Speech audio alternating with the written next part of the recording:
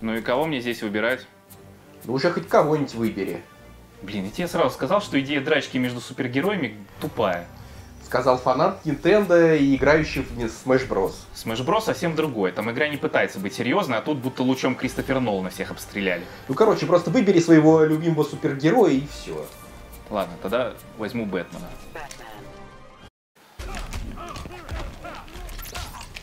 А почему ты не взял, например, э, того же Супермена? Потому что, когда я слышу Супермен, я вспоминаю фильм Зака Снайдера. и Мне хочется то блевать, то плакать. Значит, из всех супергероев тебе больше всего именно Бэтмен нравится? Бэтмен крутой, и игры с ним, кстати, крутые. Хотя последний Arkham Knight не обошелся без луча Кристофера Нолана, но все равно офигенная игра. Получается, игры про Бэтмена у тебя любимые игры про супергероев? Ну уж точно мне не нравится эта игра, где ге- супергерои лупасят друг друга по морде. Но вообще нет, игры про Бэтмена не самые мои любимые игры про супергероев. А какие тогда? Infamous. Это которые у нас перевели как дурная репутация? Оно. Кстати, ты обещал рассказать, что с ним не так. Окей. Расскажу, что с ним не так. Давай только вот выключим это, это вот дерьмо для первоклассников. Начну, как всегда, с первой части, тем более она была самой классной. Э, По-моему, то же самое ты говорил про Uncharted. У тебя случайно не синдром утенка? Нет, у меня не синдром утенка. А может, просто разработчики все самые клевые идеи реализовали в первой части, а потом просто доили франшизу. Вообще так часто бывает, что с фильмами, что с играми. С фильмами, впрочем, чаще. Ну-ну. Короче, первую часть Infamous выпустила никому неизвестная студия Sucker Punch. Кстати, название еще одного фильма Зака Снайдера. Вот-вот, даже удивительно, как игру не сгубило само название студии. Но тут, видимо, помогла поддержка Sony. Игра-то делалась эксклюзивно для PlayStation 3. Но разработчики действительно постарались на славу. В первую очередь они с нуля создали весьма интересную вселенную игры и написали отличный сюжет. Да, комиксовый, но в отличие от многих, никакого исходного комикса у них не было. Слушай, ну насколько я знаю, там история ничем не лучше, чем про укус радиоактивного паука. А вот и лучше. Главный герой Коул Макград работал курьером, когда один из его заказов оказался супер-пупер-бомбой. Которая разрушила все вокруг, но только не самого героя. Потому что он был проводником. Поезда Москва-Адлер. Шутки за 300, ага. Проводники во вселенную Infamous — это люди, имеющие предрасположенность к разным спецспособностям. В отличие от прочих диэлектриков, да. Слушай, ты мне сейчас вообще предлагал поиграть в игру, где бессмертный пришелец, способный поднимать неподъемные камни, бьет морду миллионеру в костюме летучей мыши. Главное, что в сюжете Infamous есть логика, а его реалистичность точно не может быть предметом спора, так как это, во-первых, игра, во-вторых, комикс, а в-третьих, фантастика, причем не научная. Ну ладно, ладно, продолжай. В общем, из-за взрыва этой бомбы Коул получил сверхспособности, но не все сразу. По ходу игры придется развивать различные способности в лучших традициях ролевых игр и бэтменианы. Причем выбор способностей часто зависит от выбора тактики поведения, добрый или злой. Ну, то есть э, в Infamous даже есть не- нелинейность. Не совсем. Просто в игре есть понятие репутации и присутствует шкала репутации. Когда ты совершаешь хорошие поступки, помогаешь людям города, твоя репутация растет, а когда плохие, падает. И на что влияет репутация? Вот как раз на выбор способностей. В игре имеет смысл прокачивать либо хорошую репутацию, либо отрицательную. И тогда ты получишь возможность разблокировать соответствующие этой репутации способности. То есть не получится, как в Elder Scrolls, быть одновременно и вором, и воином. Э, Короче, в игре реализовали дуализм отношения окружающих супергероя людей к его сущности, да? Одни типа считают его защитником, другие, что для одного человека чересчур много власти. Вот нет.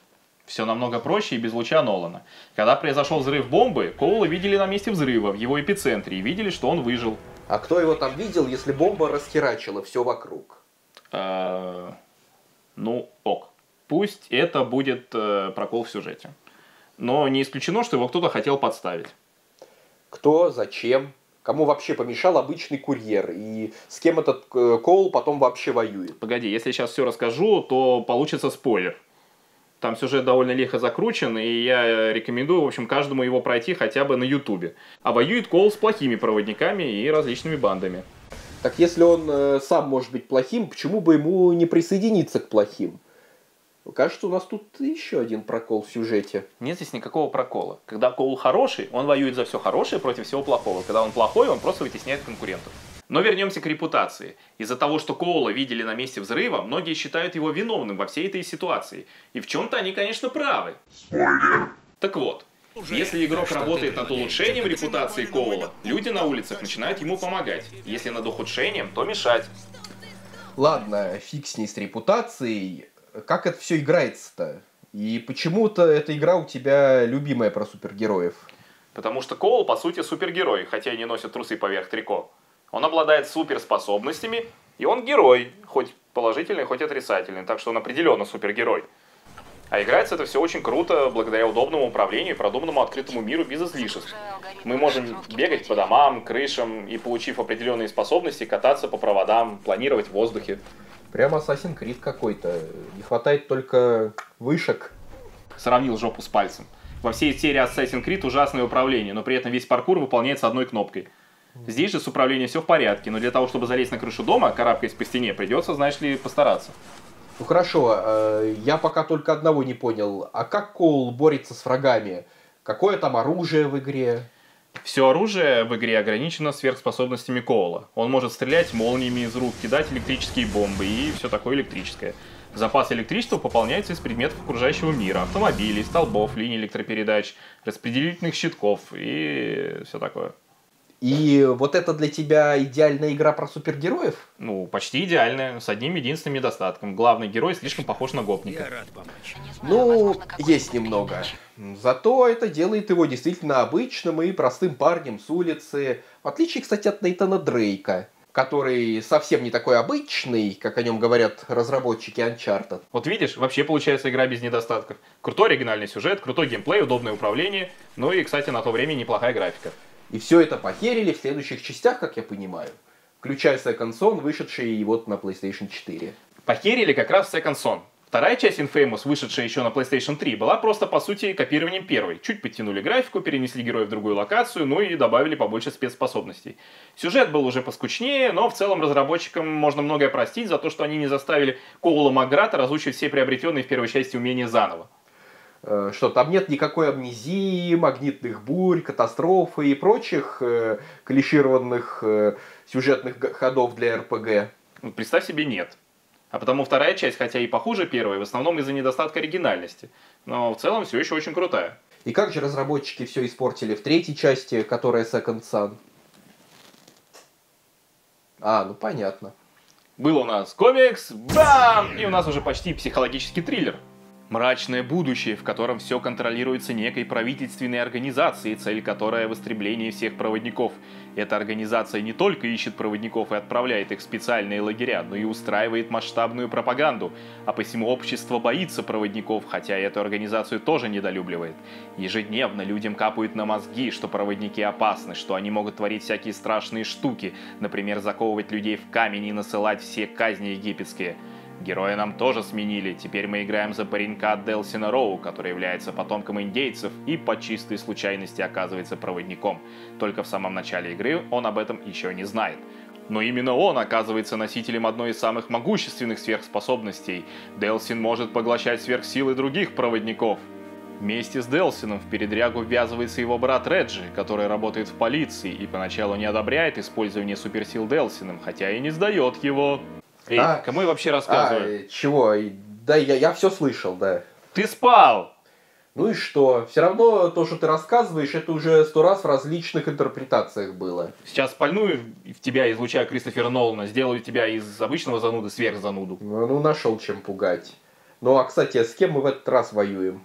С той организацией, которая мочит проводников, во главе которой стоит злая тетка по имени Августина. Ага, то есть у нас опять мода на антагонистов женского пола. Этой моде тысячи лет в обед. Вспомни сказку про Снежную королеву. Хорошо, дай-ка угадаю.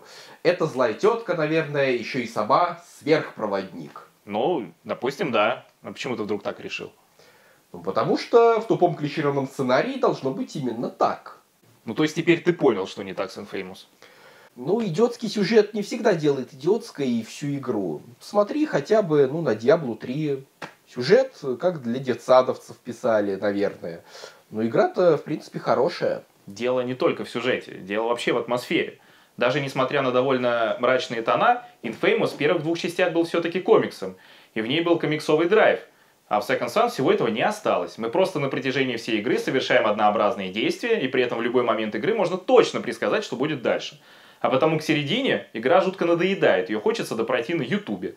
Хотя да, управление при этом по сравнению с оригинальными частями хуже не стало. Ну а графика? Ну, графика как графика, ничего выдающегося. То есть, конечно, лучше, чем на PlayStation 3, но и возможности PlayStation 4, на мой взгляд, не раскрываются. Если выбирать игру с самой крутой графикой на PlayStation 4, я бы все равно выбрал Killzone Shadowfall. В общем, как я понимаю, Infamous очередной пример того, как э, некогда хорошая игровая серия на PlayStation 3 испортилась, получив продолжение на PlayStation 4. Именно. Видимо, саму консоль так торопились выпустить, что и разработчиков игр подгоняли изо всех сил. Так что ждем Uncharted 4, его разработчики-то явно никуда не торопятся. Значит, 2016 год. Да, я очень надеюсь, что твоя теория, о которой ты говорил в прошлый раз, окажется неверной. Ну, посмотрим. Ну что, Марио Карт? Давай. Давай.